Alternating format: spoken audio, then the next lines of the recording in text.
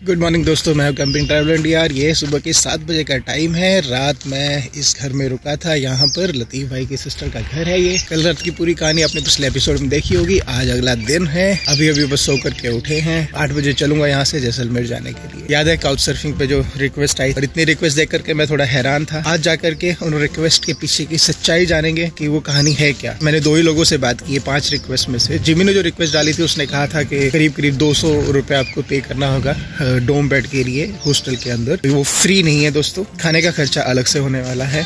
एक सूर्य को जो मैंने रिक्वेस्ट भेजी थी, सूर्य ने रिक्वेस्ट को एक्सेप्ट किया है। उसका भी कहना है कि उसका अपना खुद का एक हॉस्टल या गेस्ट हाउस है। तो जाकर के एक बार दोनों से मिलने वाला हूँ। बारी बारी से। दोनों की लोकेशन मंगा लेंगे और उसके बाद दोनों से मिलेंगे और देखेंगे कि क्या ऑप्शन बेटर है स्टे करने के लिए।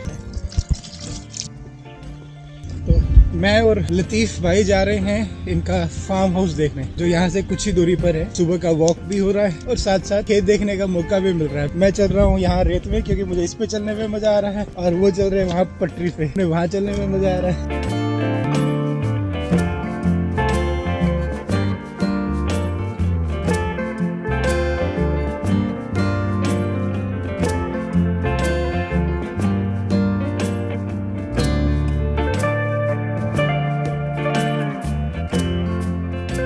पंजाब में सरसों बहुत होती है। सरसों बहुत है। जो नहीं देखा वो जीरा, जीरे की फ़सल और इस सब गोल तो कभी सोचा भी नहीं था। लगता था वो केमिकल ही है कोई।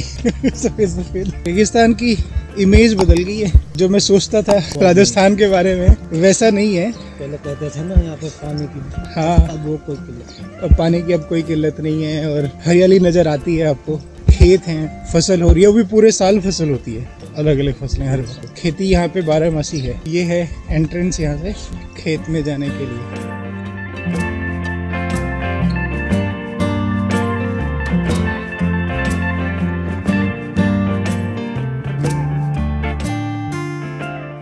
सरसों ने बंद कर दिया रास्ते को। दोनों तरफ़ फैल रही है। जगह है तो क्यों नहीं?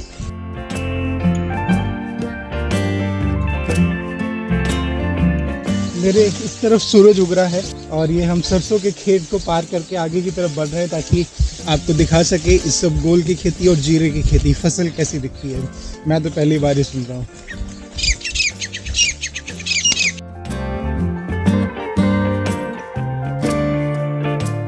लीजिए एक खेत हमने पार कर लिया। अब हम आए हैं दूसरे खेत में। ये रेगिस्तान है जिसे आप रेगिस्तान बोलते हो।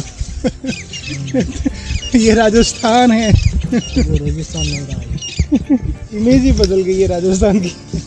लहलहाते खेत। मेरे जितनी मतलब करीब करीब पाँच साढ़े पाँच फुट ऊँची सरसों उगी है।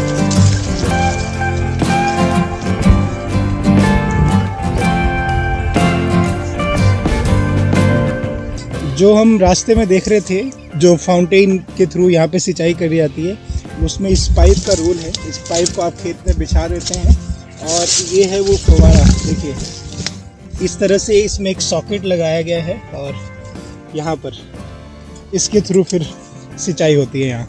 और इस खेत से बाहर निकलते ही हम पहुँच गए हैं एक और खेत में। और ये क्या उगा है यहाँ पे? इस गोल का छोटा सा घास जैसा देखने वाला पौधा। ये है। तो अभी इसमें फूल खिलेगा।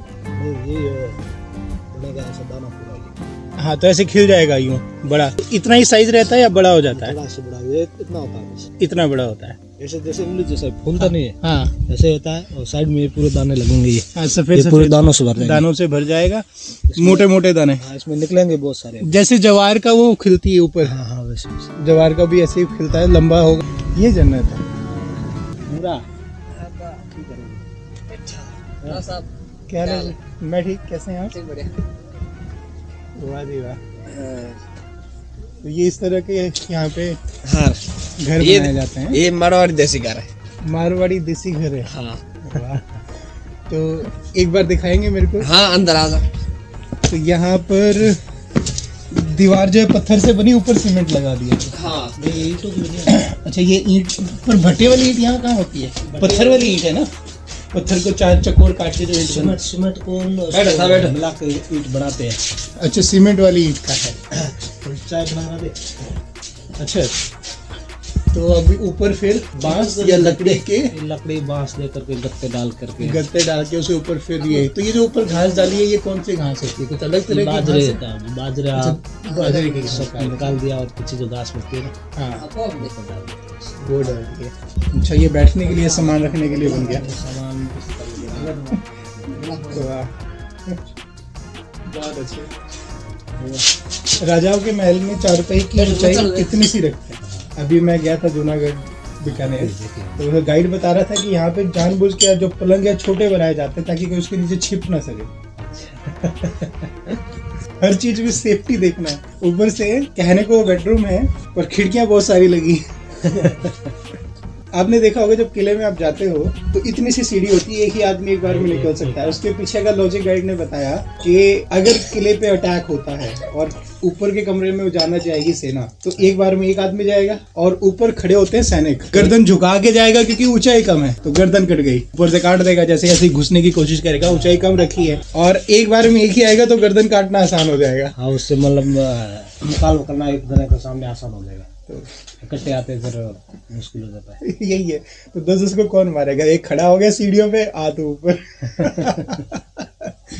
लो जी बाहर से दिखता है ऐसा। चाय बड़ी स्वाद बनाते हैं आप लोग। बहुत अच्छी है। और ये वो पाइप जा रही है जिससे सिंचाई होती है। हाँ, आगे जहाँ। मैं एक जरा राउंड लगा के आया आपके घर का। देख लेते हैं। पीछे से दो खिड़कियाँ भी है ताकि गर्मी में आप खिड़की खोल के आराम से हवा ले सके और वो सूरज उग रहा है देखो आप। राम राम जी। कर लीजिए जो कर रहे थे। मैं तो बस इधर देखा कितना छोटू सा प्यारा सा? हाँ? अच्छा नहीं। डर गया मुझसे।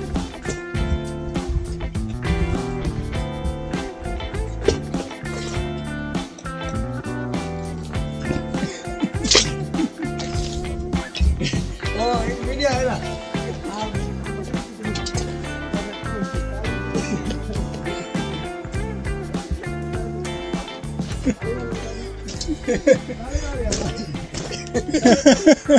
हमारी है तो साहब आप बताओ मैं आपको सर कौन करके दिखा रहा तो ये क्या खाती कौन सी काली वाली सफ़ेद वाली अच्छा काली सी बता दो ये घास खाती है। सफ़ेद वाला तो आपके यहाँ काले वाली सफ़ेद वाली दोनों बकरी हैं। किसका नाम बताऊँ? जो याद आ गया। यहाँ पे खाने का सामान बनता है। हाँ, रसोई भैया। ये रसोई है आपकी। आगे दो बच्चे बैठे उनके भी साथ वीडियो ले ले। हाँ। अच्छा। अंदर सो रहे दो। अच्छा ऊँचा उठे। वीडियो बनाओ। सोए रहो सोए रहो। क्या नाम है आपका? ठीक हो आप? आपका नाम क्या है? ना बता ना बता ना बता शर्मा हैं। ऊँचा उठे वीडियो बनाओ। नहीं नहीं, नहीं मत निकालो ठंड में। बाबू। अरे बाबू। नाम क्या है आपका बेटा? अच्छा क्या नाम बताया ना बता। अच्छा साहिल। साहिल। साहिल। और आपका क्या नाम है? आखिरी अफरीना साहिल है ना? अच्छी नाम है। हेलो। हाथ में हाथ दे हाथ दे। हाँ। ऐसे हाथ मिलाना है ठीक है? गुड सो जाओ। हाँ? ओके।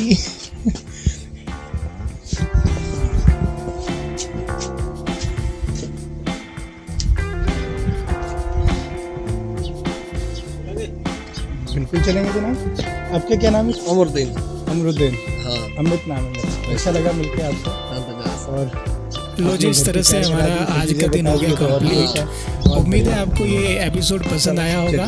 पुराना एपिसोड मैंने राइट में टॉप कॉर्नर पे ऊपर की तरफ़ दिया है। और अगर आप पूरी सीरीज़ देखना चाहते हैं जिसमें मैं चंडीगढ़ से ऑस्ट्रेलिया की तरफ़ जा रहा हूँ तो ये नीचे की तरफ़ देख सकते हैं।